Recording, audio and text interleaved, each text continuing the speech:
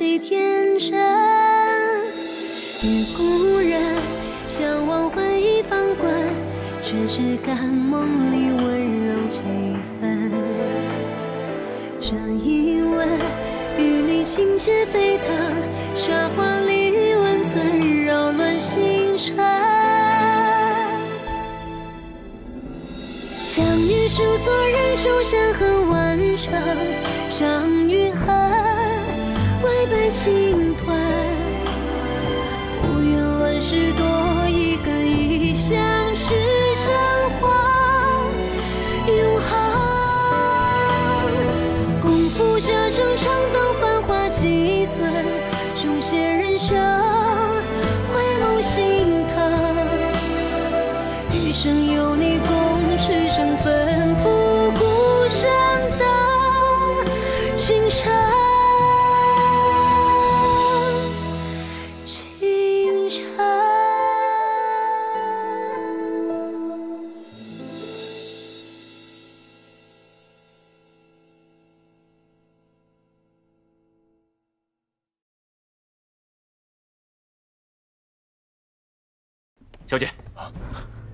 世子也有信儿了。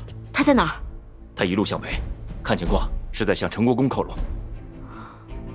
还有，何建府传来消息，议和书已经签订，北齐兵马马上进入三州，北地的全部驻军马上撤离。如有违令，以谋逆论处。谋逆？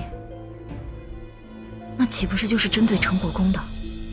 小姐，目前来看，有很多百姓可能无法撤离。原来陈国公的深意在此。老雷，李将军，我们继续北上。可是小姐，从舆图上看，只要再过三个镇子，咱们便可以与陈国公夫人会合。我们继续北上，改变线路，而且沿途一定要打探陈国公和世子的下落。你是想？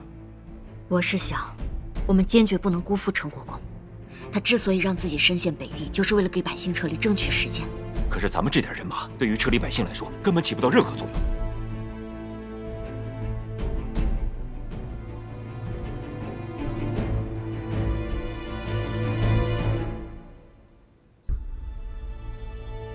一定把人数统计清楚了，去吧。是。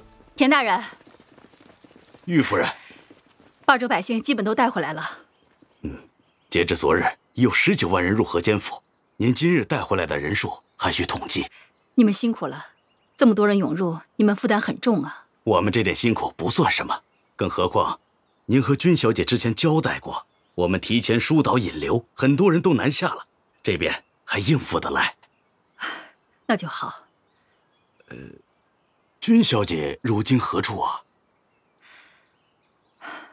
按照脚程，她也应该回来了。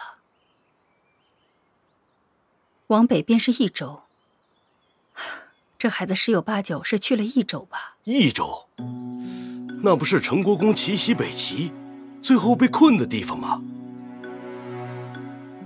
是。如今北齐的大军还没有入境，可见陈国公的威力还在。那就是说，人还在，军还在。这孩子一定是孤身前往救人去了。夫人不必担心。我等已向朝廷请命，请三军和大名府援军北上。那就有劳田大人了。夫人，您稍事休息，我去清点一下人数。那您快忙。您辛苦了。夫人，朝廷不可能同意田大人请命的。我们已经与北齐议和了，益州更是北齐的地盘。陛下怎会允许战况再次扩大？更何况……大名府由清河伯掌管，他不可能同意出兵，尤其是为了我们陈国公啊！玉夫人，我们小姐呢？没有一起回来吗？小姐没跟您会合吗？她担心边境还有难民，救人去了。你们不必过于担心。多谢玉夫人。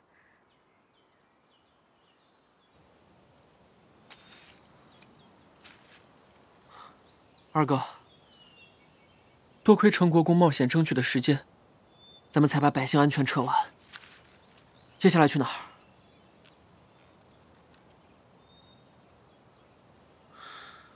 益州。益州是北齐地界，左右两翼各路几万人马，单凭我们几个根本帮不上陈国公。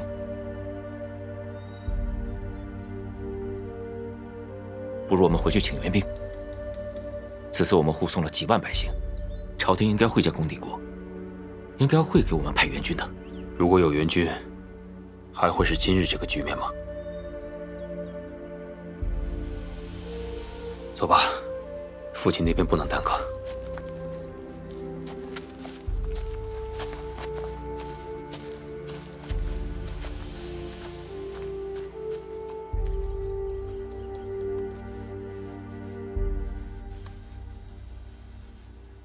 昨夜一战，伤亡如何？陈国公，吾等右翼尚存一百二十人。这帮将士要仔细造册，要记住他们。他们用命换取了三军几十万百姓。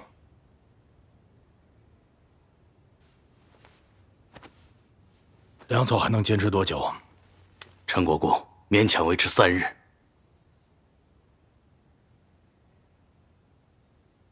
休整一日，择机突围。陈国公，将士们为您马首是瞻。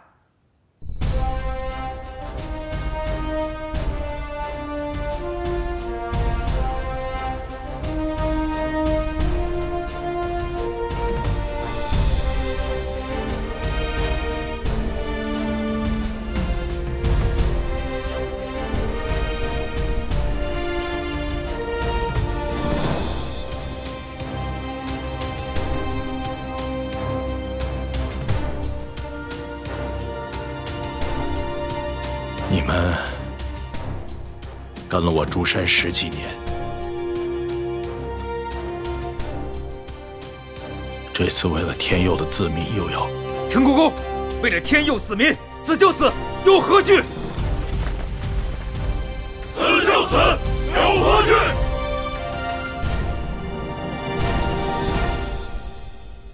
昨日陈国公与北齐大战一场，损失惨重。如今整个益州被团团围住，岌岌可危。能让陈国公陷入如此险境，北齐兵至少有万余人马。您判断的没错，小姐，不如这样吧，你在外围等待，我带人杀进去。眼下这个时候没别的办法了。没错，大不了就是一死。小姐，咱们不能看着陈国公全军覆没。如果让北齐军营发生斗役爆发的假象呢？小姐，你这话什么意思？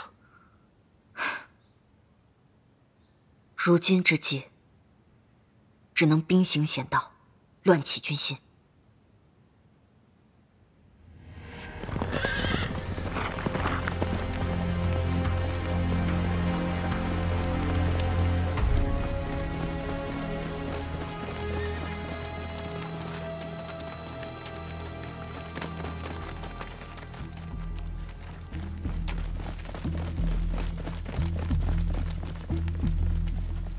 老雷，你找一心腹之人，我开一剂药，他服用后会出现和痘疮一样的症状。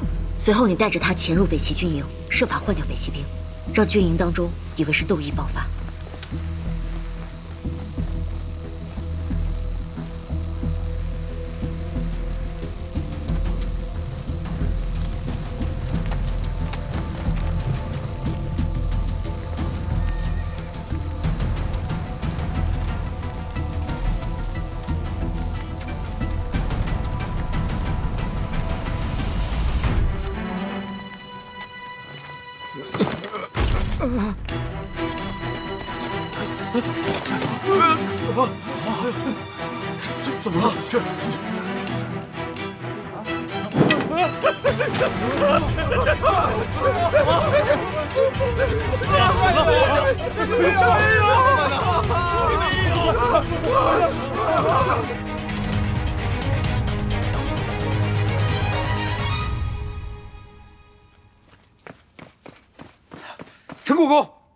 北齐军营突发斗役，现已乱作一团。斗役？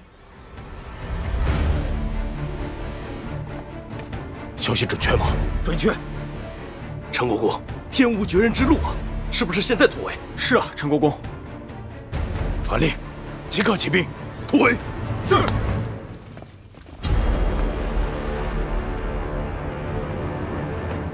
我已经给你敷了药，这两日伤口处千万不可以进水。君小姐，君小姐，陈国公突围成功，但负了伤。他现在在哪？伤势如何？受了外伤，现在已经在房间休息了。陛下一再下令退兵，只有陈国公不退，为什么？为什么？为什么？因为陈国公他心系北地。啊呸！他这是为他自己，退了兵，议了和，陈国公还怎么在北地摆威风啊？我告诉诸位，这世上最喜欢打仗的，就是他陈国公。啊，是这样，怎么是这样的？哎，这都阳春三月了，怎的还让人心底生寒呢？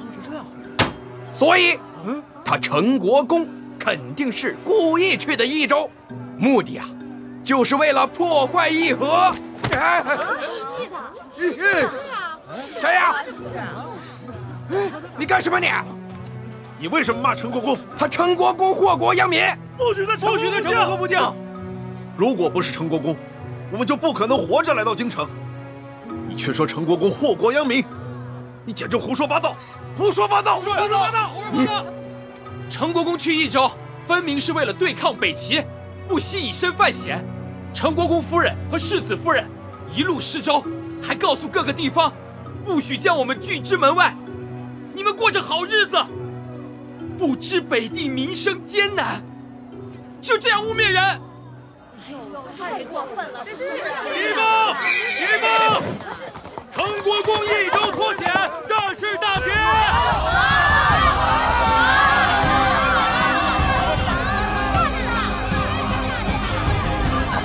毕竟春天要来了，天不会总那么冷。陈国公做了什么？京城的人看不到，但是北地的人都看得到。正如君小姐所言，天地之间是有公道的。他终于要回来了。玉玉，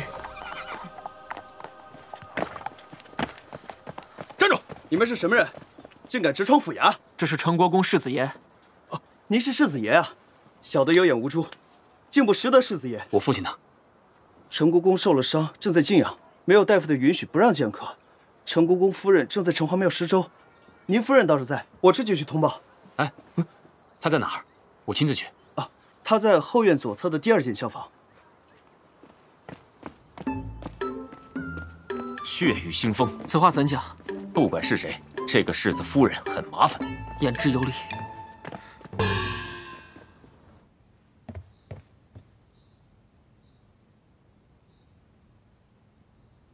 夫人，我回来了。不知我写的信，你是否看到了？你为何成为世子夫人这事儿，我暂且不问缘由。我只想跟你说，你做的事情我很敬佩，但是这桩婚事，恕难从命。我会告知我的父亲母亲，让他们说明一切，以免毁了你的清白。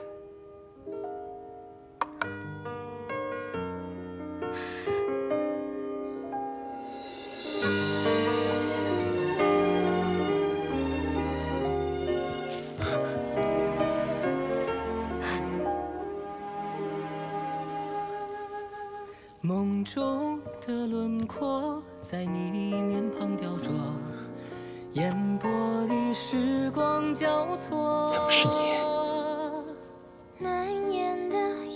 那你希望是我吗？希望，希望。啊，我父亲的伤势如何了？你放心，陈国公已经无碍，再休养几日便好。星与山河。许久的沉默，人海两相隔。不管怎么样，我都要替三军的百姓和我父亲感谢你。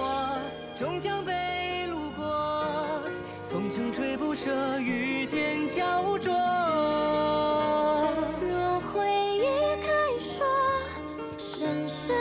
说你解决完豆苗的事情，跑那么北边干嘛？多凶险啊！不凶险，这不是有雷师傅他们一直在保护我，我什么事儿都没有。那伍德斯虎视眈眈的，也没有你的消息，我怎么知道你有没有事啊？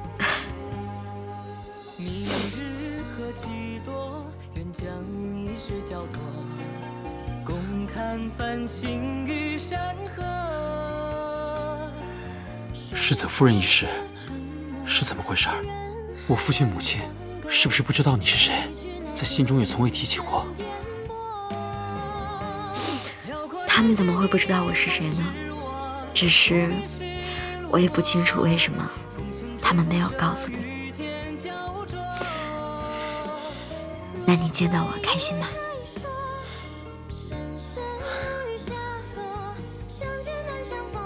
很开心。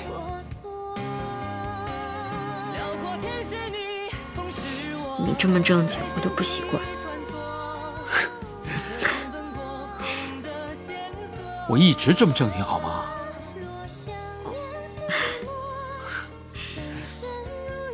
好啦，陈国公就在旁边，你快去吧，我就不去打扰你们了。好，去吧。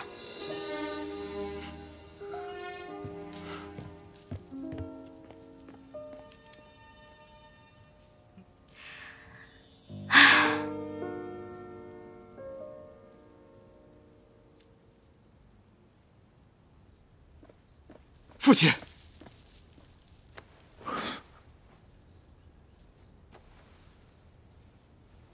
您的伤，藏儿，你回来了。我的伤没事儿，小伤，君小姐把我照顾的很好。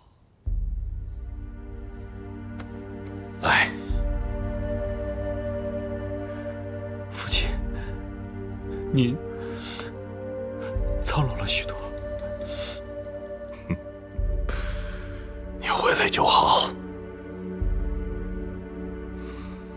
拿酒去，今日为父和你好好的喝一场。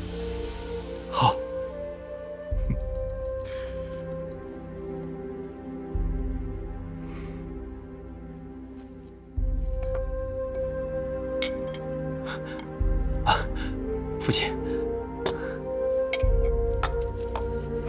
为父也好久没喝酒了。今日你我父子畅饮一番。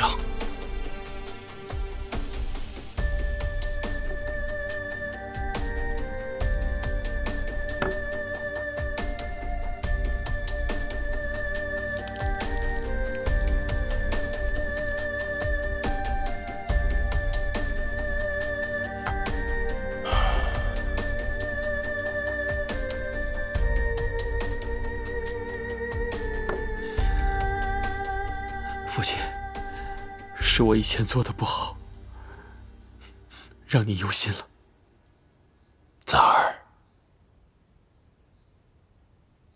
在为父心里，你一直是我和你母亲的骄傲。你只身赴京城，决然赴沙场，我和你母亲都知道，你做的很好，不愧是我朱山的儿子。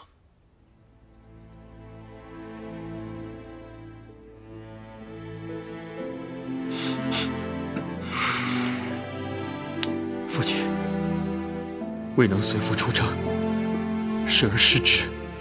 这次我回来了，不会再让您受伤，也不会再让母亲担惊受怕。父亲，谢谢你，谢谢你为我做的一切。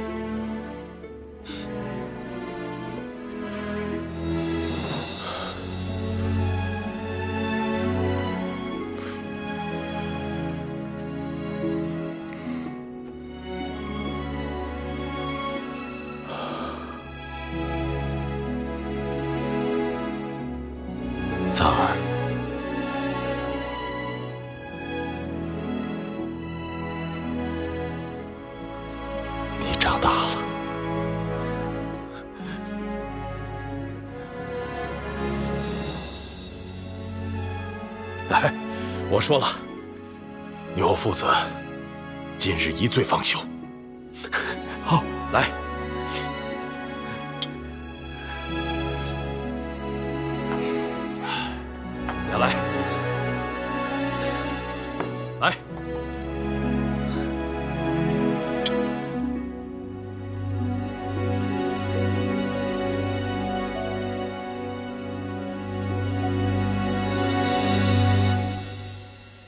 禀陛下，三郡百姓归来，盛威隆重，加之北齐军队受创，应该会安分许多。嗯，陈国公马上要进京，受封领赏了。皇城说可以借此时机，让清河伯暂代其北地镇守之职，你以为如何？臣以为此乃良策。朱赞是怎么回事啊？禀陛下，朱赞并非孤身一人，同行的还有一群高手，再加上他回北地之后，更是鼓动保州操守，带领军队拯救百姓，人多眼杂，臣难以下手。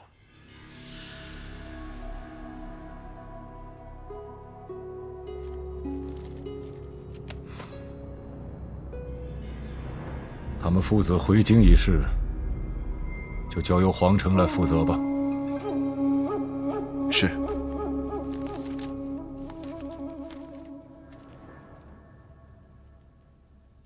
姓金的，哎呦，哎呦，你怎么喝这么多酒啊？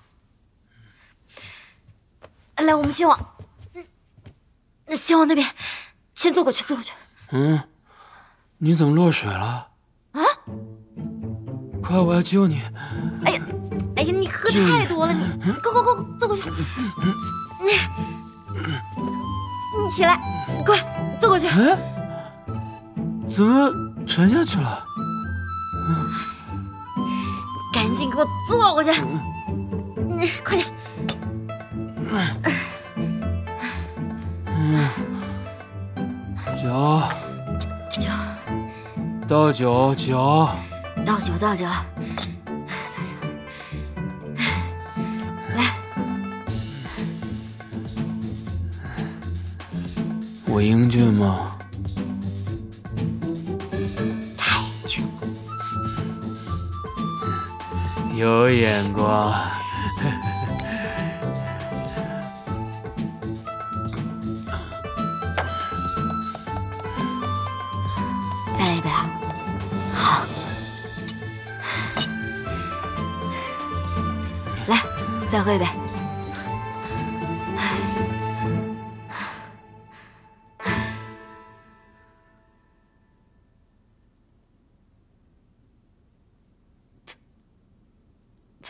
怎么了？你怎么跟他这么像？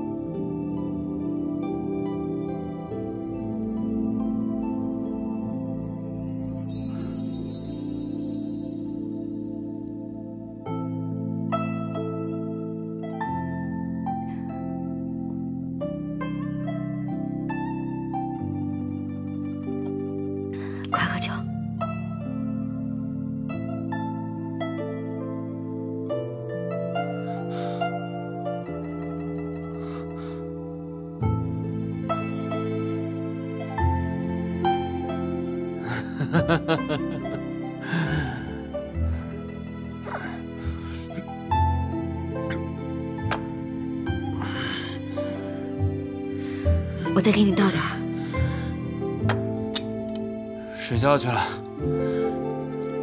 啊？哎，你不在这儿睡？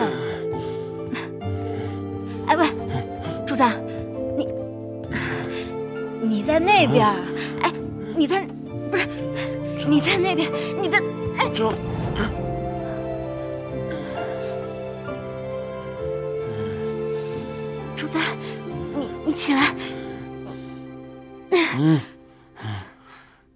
九龄欠你的，那个九龄还，那个九龄不欠你的，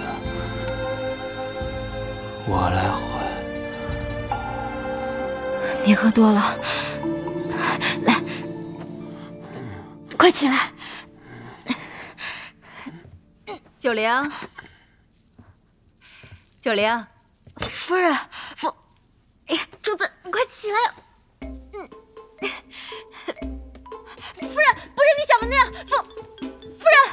人，九龄啊，我什么都没看到。夫，我把点心放桌上了，记得吃啊。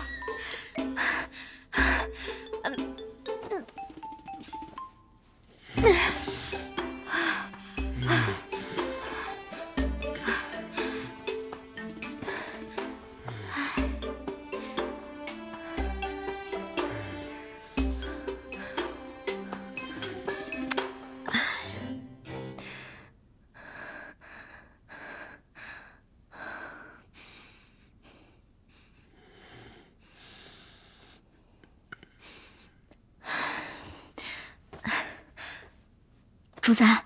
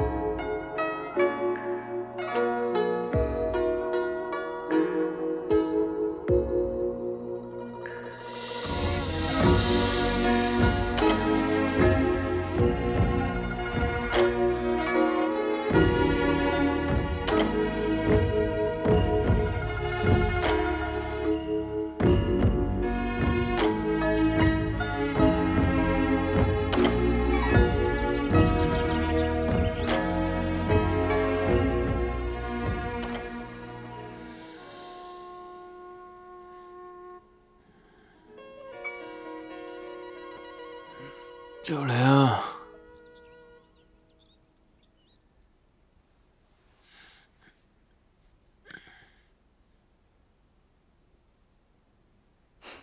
你醒啦？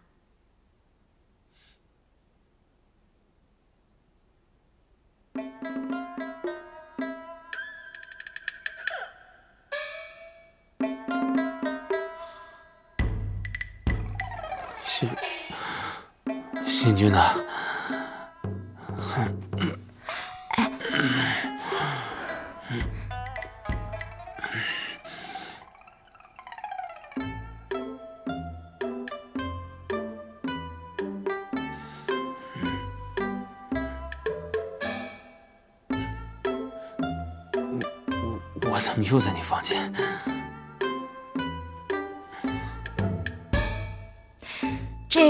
问你自己啊。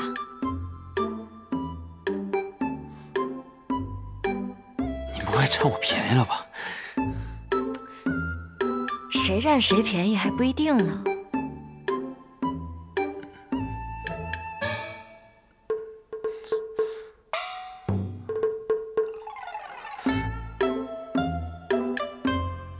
哦，原来是这个意思。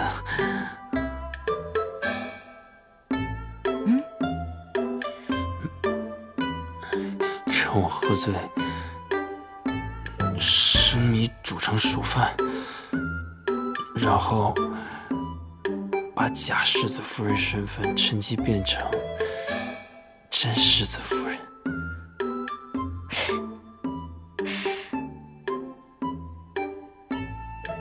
你想得美！来，我方才呢去给你熬了醒酒汤，你赶紧把它喝了。快点儿！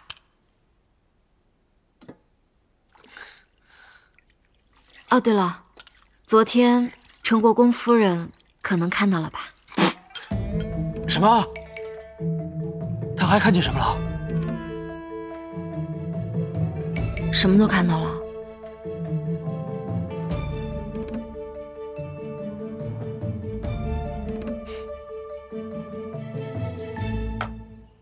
送三郡百姓归来的世子夫人，居然是君大夫。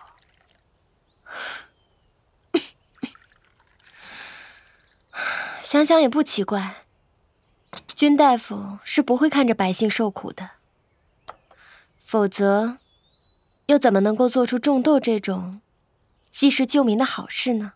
济世救民，不见得吧？人都是有私心的。即便他有别的想法，但是他做的事让大家受益了，那便是好事。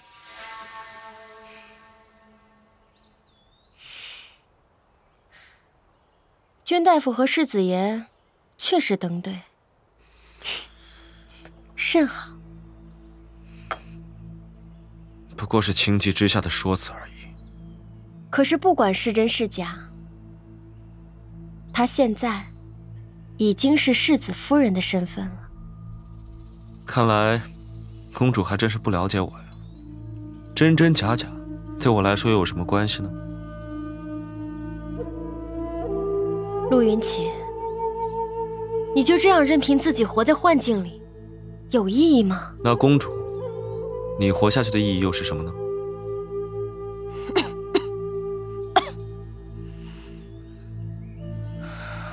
我的一生已然如此了，能看到身边的人快乐，便是我活着的意义。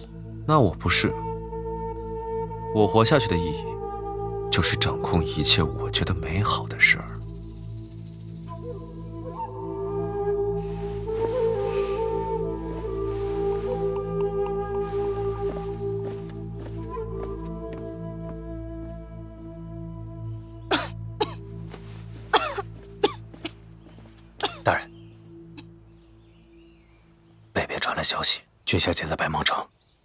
要让那边的兄弟们动手吗？不必了，他做了这么多，不就是为了回来吗？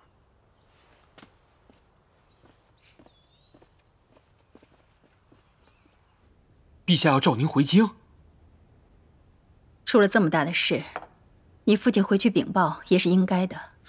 若只是禀报，那为何要让清河伯代替兵马大元帅呢？既是圣命，那就照办吧。父亲，您不能回去。有兵才有权，无兵无权，不就等于老虎没了牙齿吗？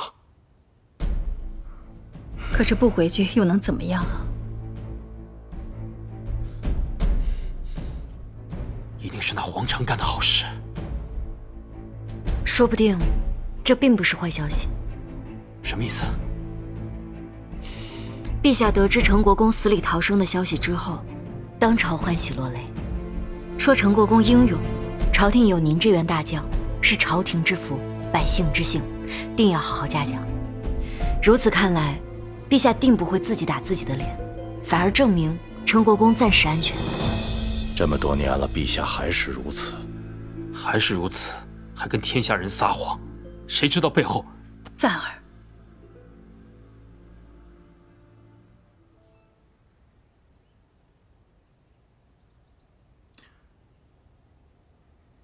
这么多年了，我也想回去看看，看看陛下，看看京城。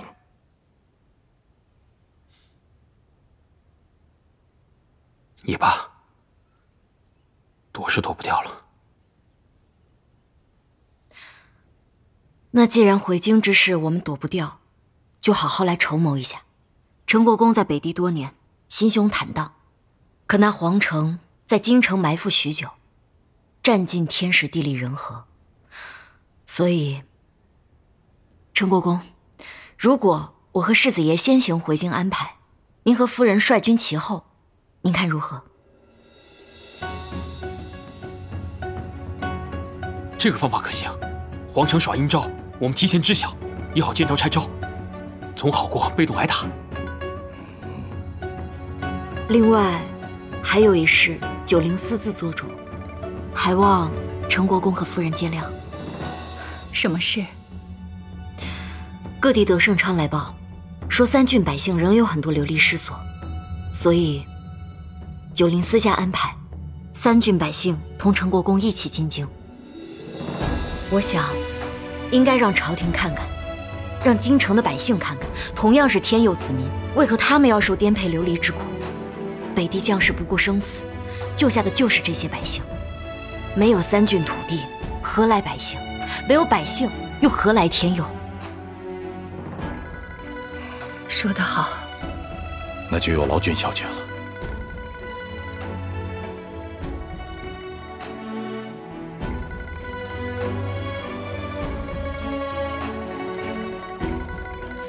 母亲，赞儿，来坐。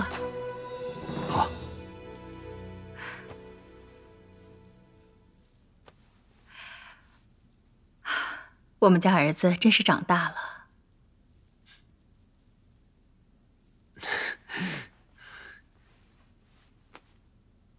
那，嗯，您叫我过来，该不会只为了夸我吧？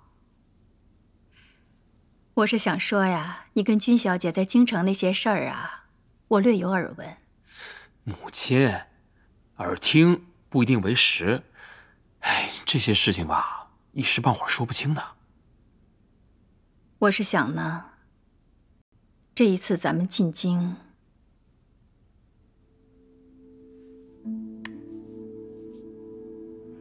我怕你心里有什么遗憾。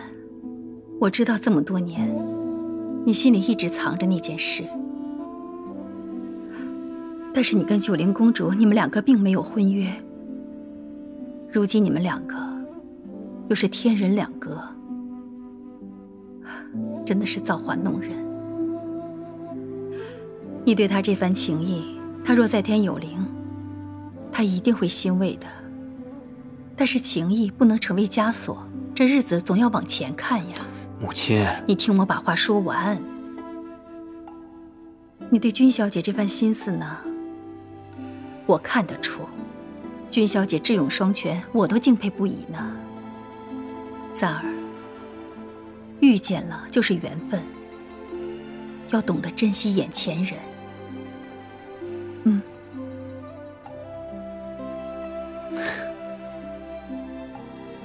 母亲，儿还有一事。嗯。世子夫人一事呢，阴差阳错，已经闹到人尽皆知了。嗯。牵扯到她的清誉啊。母亲，儿也想做顶天立地的好男儿，所以儿想在天下人的面前澄清这个误会，还他清誉。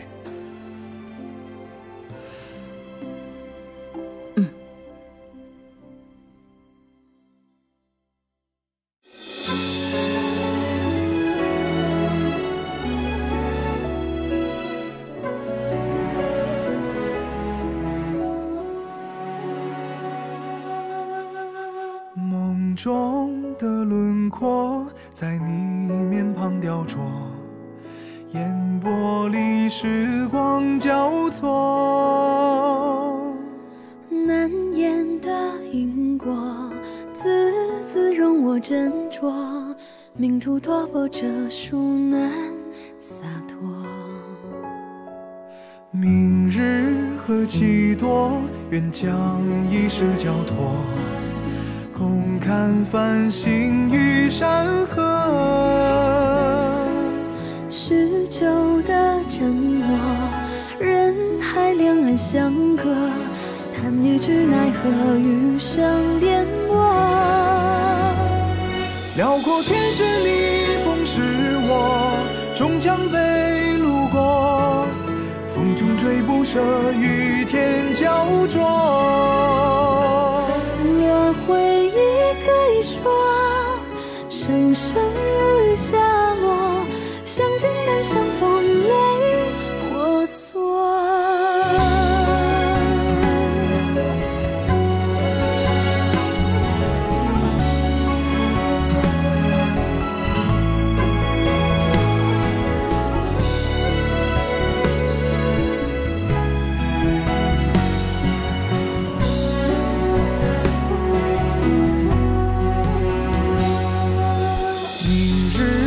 几多，愿将一世交托，共看繁星与山河。许久的承诺，人海两岸相隔，叹一句奈何，余生颠簸。辽阔天是你，